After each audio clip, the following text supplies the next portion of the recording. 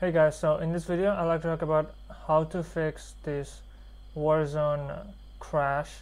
So it's sometimes it happens like every 5 minutes, 5 to 10 minutes your game is crashed. So yeah, so I'm going to fix it and first thing you have to do is open your Blizzard and click option and then go to the scan and repair so after you click it you should click begin scan.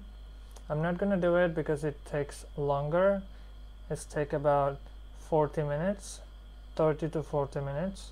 And after you scan it then you're good to go. And the second thing you're going to do um, you're gonna right click here properties and in compatibility mode make sure this disable full screen optimization is checked marked.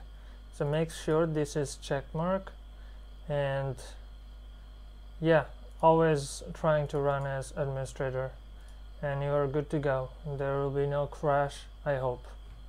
Thanks for watching guys. If this video helped you please subscribe. See you guys next time. Bye bye